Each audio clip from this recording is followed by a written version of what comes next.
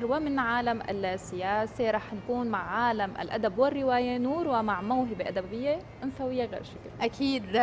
فينا نقول يمكن من أجمل أنواع الأدب أنواع الأدب القريبة لقلوبنا وقلوب كل الناس. يمكن كان في مرحلة دائما ببداية الشباب الرواية لها حصة كثير كبيرة بمراحل حياتنا وذكرياتنا لأنه دائما بتاخذنا لمطارح.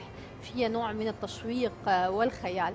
يمكن أنا من أفضل الأشياء اللي بحبها بالأدب هي الرواية انت شو بتحبي أكثر شيء؟ كمان الرواية اللي قلتي نور صح هي اللي بنسميها السهل الممتنع اللي انت ممكن تقعدي تخلصي نص الرواية. وما تملي ما تملي ابدا الاحداث حالك جزء من الرواية أو بطلة الرواية صح. بتعيشي كل التفاصيل معها اليوم. بدنا نسلط الضوء على موهبة أدبية أنثوية دائما يمكن برحلاتنا الصباحية بنسلط الضوء على مواهب شابه بنعتز وبنفتخر فيها. الروائيه مؤمنة محمود أول شيء بدنا نقول لك يسعد صباحك واهلا وسهلا فيك أهلا يسعد صباحكم. يسعد صباحك واهلا وسهلا فيكي. أهلا وسهلا. شكرا سعيدين اليوم باستضافتك. مؤمنة سالناكي من ايمت بداتي قلتي من عمر 14 سنة يعني أيوة. تقريبا حوالي 20 عام من تماما. من التجربة بعالم الكتابة. خلينا نرجع على البدايات معك وكيف هيك كانت الشرارة الأولى هلأ كبدايات درست السادس وما كملت. تركت الدراسة وقعدت بالبيت أدرس. أوه. هون وقت لما شفت أخواتي عم يدرسوا ويكتبوا وهاي إلا أنا الوحيدة اللي قاعدة. هون قررت أكتب. أول شيء قررت أقرأ قعدت أقرأ أقرأ أقرأ بس ما كان في هيك شيء رواية إنه تحكي عن إحساسي ومشاعري. كنت بلشت بالروايات العالمية. لعمر سنة سنتين بعدين بلشت أكتب خواطر. قصص قصيرة بعدين بعمر العشرين بلشت فتت بالرواية.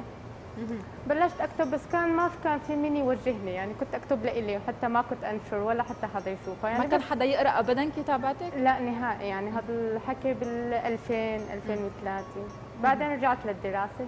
درست التاسع البكالوريا. بعدين درست معهد إدارة أعمال. وانقطعت على الكتابة لل 2018 دخلت بعالم الرواية من أول وجديد. ب 2018 برصيدك تقريبا فينا نقول خمس روايات. كتب وهلأ إيه. ثلاثة قيد التحضير والتدقيق. يعني نحن عم نحكي عن مرحلة كفاح فينا نقول. آه أول شيء انقطعتي عن الدراسة بعدين كملتي واختصاص مختلف. آه اختلاف كلي عن موهبتك الأساسية. خلينا نحكي عن أول كتاب ألفتيه. آه لمين يعني أول شيء استشرتي كيف كانت ردة الفعل؟ لأنه في اختلاف نحن عم نحكي عم نحكي عن روايات أدبية وعم نحكي كمان عن فينا نقول أدب الحرب. يعني واقع إنساني معايش فينا نقول من خلال طبعا. الرواية. هلأ كانت أول روايتي هي حلم عابر مزيج من الخيال والواقعية مم. والرومانسية. هلأ حلم عابر كانت تحكي عن حلم مجرد الأحلام كيف بنقدر نحققها. هلا الحلم وقت لما يتحقق ما بيتحقق مثل ما حلمنا. هون بنقع نحن بمطبات.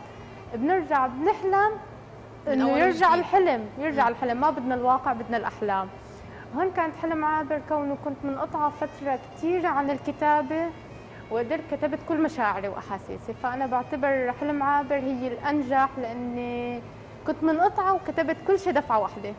يمكن كانت إيه. فيض من مشاعر. هاي هي تماما. وبلشت أكتب اكتب يعني. كانت وفيك تقولي يعني مزجت فيها آه، خواطر كنت كاتبتها من شي 10 سنين أو قصص كاتبتها من 10 سنين مزجتها سوا.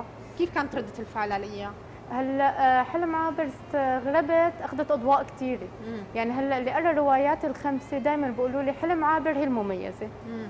أنا كنت بعتبرها إنه موهبتك الأولى في لها حصة مختلفة؟ هي موهبتي الأولى. هلأ في شيء بيقولوا لي أنت ضفتي شوي من حياتك الشخصية لها هي لا بالعكس بعيدة عن حياتي الشخصية. آه، بس هي لاني صايره رومانسيه وبتعرفي نحن أغلب الشباب بحب الروايات الرومانسية. صحيح عاطفيين أكثر. دائما الكاتب هذا السؤال بتوجه له إنه قديش الشيء اللي بتكتبه أنت من واقع معاش أو بمثلك دائما؟ آه، فيمكن هذا مشان هيك عم يسألوكي إنه انت عشتي هذا الشيء أو يعني حسوا إنه في جزء من حياتك موجود بأول تماما إيه كثير هلأ بيسألوني على روايتي هلأ بس لأنني لاجئة ومن حواء إلى آدم بقولوا لي هي مو قصتك؟ بقول لهم لا ما دخل بس هلأ الكاتب وقت لما يكتب صيغة الأنا دائما القارئ بفكر إنه هي بتنطبق على الكاتب. طيب خلينا نحكي عن رواياتك يعني تدريجيا هي أول كتاب لاني خلينا نحكي عن هن سلسله خمس كتب وثلاثة قيد التحضير. إيه؟ شو كان محتواهم؟ من وين إجتك الفكرة؟ وكيف كانت ردة فعل الناس حواليك؟ هلأ من حواء إلى آدم إلى جزء ثاني اللي هو من آدم إلى حواء. هذا أدب الرسائل أدب الرسائل. اللي هي من حواء إلى آدم هون من المشاكل اللي دائما حواء وآدم حواء وآدم. عم عملتي عدلتي الموازنة. من آدم إلى حواء. رسائل أيوه. فهون وقت لما كتبتها إنه حواء عم تعاتب آدم. مع انه هي عارفة إنه آدم مستحيل يقرأ الرسائل ابدا نهائي بس هي عم تكتب له الرسائل وهو ما راح يقرأها. اعترضوا قرائي آه.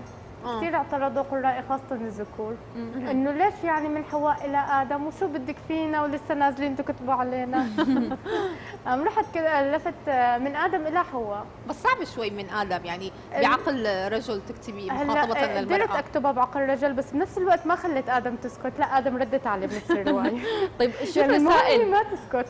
شو الرسائل اللي كانوا عم يوجهوها لبعض الطرفين؟ هلا هون من حواء إلى آدم هي تركته. يعني تركته. ومشيت هي بطريق وهو مش بطريق. بس هون هي عم بتقارن بين الماضي والحاضر والمستقبل. إنه هي بالماضي شو قدمت له؟ والحاضر كيف هو؟ إنه هلا بعيد عنا. والمستقبل هي هون آه عندها ازدواجية. يعني برسالة بتقول إذا شافته يمكن تركض تعانقه وتضمه. وبرسالة ثانية بتلاقيها لا إنه إذا المرق من قدامه ولا يمكن هون. يعني هون لساتها عم تتلخبط بمشاعرها.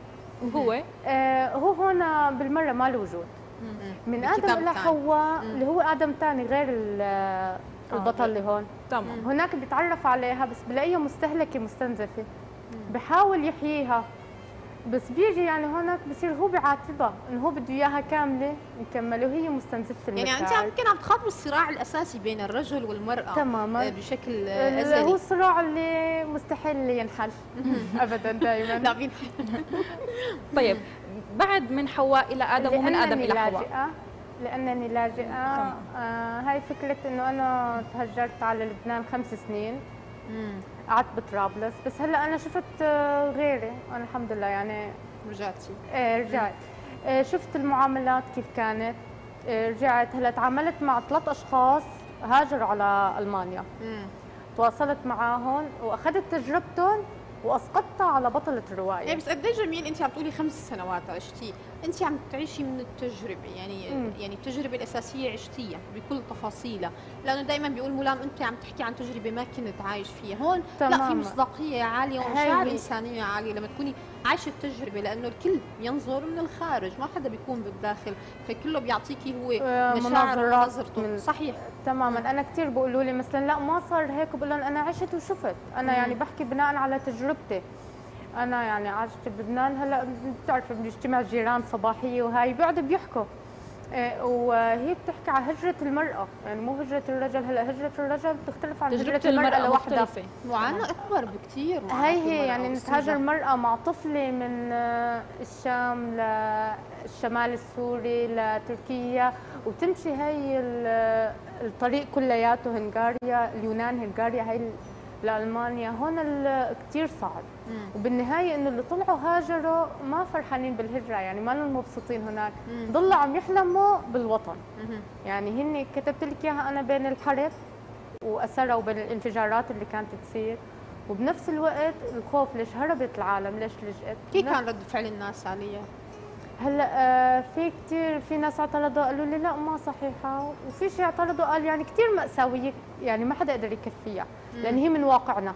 وقت لما تكون الرواية من واقعنا آه، صعب العالم تتقبل يعني. الناس الناس بتحب النهايات السعيدة يعني تماما هاي هي. أنا بقولوا لي بقول لهم ما بحب النهاية السعيدة لأن النهاية السعيدة صارت قصة تقليدية بس بدها تكون النهاية واقعية يمكن هذا الشيء اللي مرينا فيه أو الواقع اللي مرينا فيه كان فعلا هو آه، قاسي والناس بترفض حتى إنه يعني في كثير تفاصيل نحن الحرب بيقولوا يمكن نضل على مدار عشرات السنوات عم نحاول يعني يعني نأرخ الشيء اللي صار معنا ويعني يعول اليوم حتى على الدراما والأدب والروايات إنه هي فعليا حتكون وثيقة تاريخية اليوم للأشخاص اللي راح يقروا هاي المواضيع شو صار بهي الفترة تماماً. الزمنية. تماما هي هي يعني إنه نوثق الشيء اللي صار شو اللي عانيناه إنه اللي يجي اللي بعدينا يعرفوا إنه نحن عانينا.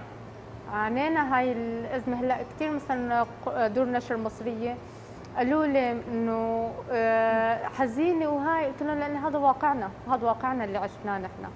طيب. آه خلينا هيك سريعا نحكي عن رواية وطن بالوقت المتبقي. وطن بتحكي على داعش. على كمان الحرب بين داعش وبين الشام. تفاضل كمان المرأة في ظل داعش. عم تحكي معاناة المرأة في ظل داعش. عم تحكي يمكن كل رواياتك فينا نقول كتاباتك يمكن من الواقع المعاش. هذا هيك له اصداء إيه. ومؤثر. يعني تحضري لهم الثلاثة اللي قيد التدقيق. عن شو بيحكوا؟ هل هن مختلفين أو بطريقة هل مختلفة؟ هل هي من آدم إلى حواء حكيت عنها. آه، حب عقف التنفيذ خالصة هي لل رومانسية واقعية كمان. آه، في لا تعبث بذاكرتي واعترافات فات أوانا هذا الروايتين اجتماعيات. حلوين حتى العناوين ملفتة بالختام حابة كنت تقري شيء من هي؟ لا حب مع حب عقف التنفيذ. نختم فيه. أخاف من وداع لا أمل في لقاء بعده. أخاف من فراق تنسى تفاصيله وتمحوها الأيام. أخاف من صدفة تجمعنا وبحضنك طفلة تلاعبها.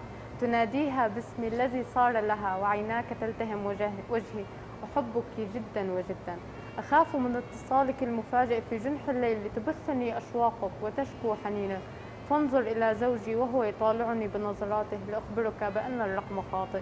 أغلق الهاتف وصدى أنفاسك ما زال يتردد في ذهني كل التوفيق آه، لك آه، الروائيه مأمونة آه، مؤمنة محمودة لكل شكرا لتجربتك اليوم ولكل هذا الغنى. وأيضا يعني مسيرتك اللي كانت ما سهله مثل ما بيقولوا ولكن بفترة قصيرة أدبية قدرتي تنجزي كثير كل وسهلا. أكيد الروائية الجميلة مؤمنة محمودا شكرك اتمنى لك التوفيق بمسيرتك الأدبية وإن شاء الله بنتوقع محطات أدبية مهمة بحياتك. وأكيد نحن بنعتز ونفتخر بكل أنثى. كان في عندها هيك مسيرة كفاح ونضال وقدرت فعليا تستغلها بشيء إيجابي. شكرا كثير لك. شكرا لكم على استضافتكم الرائعة. شكرا لك. أهلا وسهلا. في